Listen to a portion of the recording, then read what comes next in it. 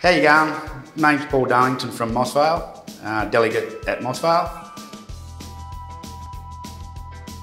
Knowing what their rights are, stuff like that, um, and just banding everyone together to create a good workforce, happy workforce, um, so we all can move forward and um, yeah, prosper in life.